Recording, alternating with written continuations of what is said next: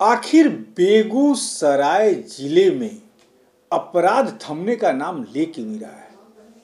बेगूसराय जिला अपराधियों का अड्डा बनते जा रहा है और पूरा ठीकरा सरकार के ऊपर कल बिहार विधानसभा में विपक्ष के नेता विजय सिन्हा ने फोड़ा है और कहा है कि बेगूसराय के कप्तान यानी कि एसएसपी को ज़िले में रहने का कोई नैतिक अधिकार नहीं है। और वास्तव में बेगूसराय में ही तमाम घटनाएँ घट रही हैं। आखिर क्यों? इसका जवाब तो निश्चित तौर पर पुलिस कप्तान को देना चाहिए। सुनवाते हैं क्या कुछ कहा है विजय सिन्हा ने। उस समय कप्तान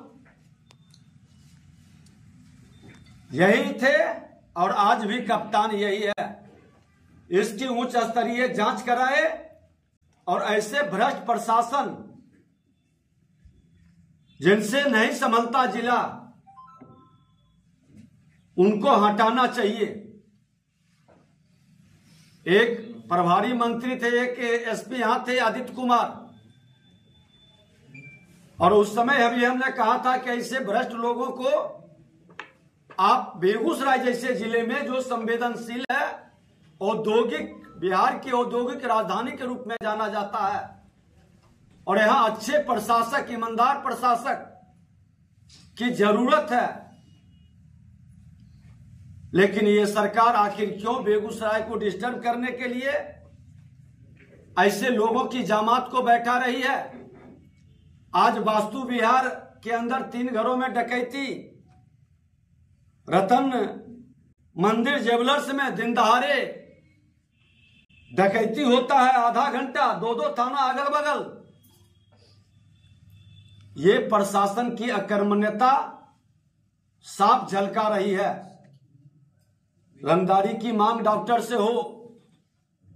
कुछ बात तो बाहर आती है, कुछ बात अंदर ही रह जाती है। तो कहीं न कहीं जंगल राज का जो पुरोधा था, अपराधियों का गैंग, उसके अनुकूल वातावरण लग रहा है और ये खुल करके गुंडा राज में तब्दील कर रहा है। आज लगभग एक दर्जन रेप की घटनाएँ बेगूसराय ज़िले के अंदर घटित हुआ है। दो गैंग रेप भी हुआ है। और इसके बाद भी यहाँ का प्रशासन अपनी जिम्मेवारी को सही ढंग से निभा नहीं पा रहा है। इसकी समीक्षा सरकार को करनी चाहिए। सुना आपने विजय सिन्हा ने क्या कहा? कहा कि बेगूसराय के पुलिस कप्तान को ज़िले में रहने का नैतिक अधिकार नहीं है। उनको ज़िले से चले जाना चाहिए अपना तबादला कराकर। अब देखना है कि ऐसे कटाच सुनकर क्या बेगूसराय जिला के कप्तान अपनी कार्यशैली में सुधार करते हैं या नहीं, इस पर भी नज़र रहेगी। आप बने रहिए हमारे साथ।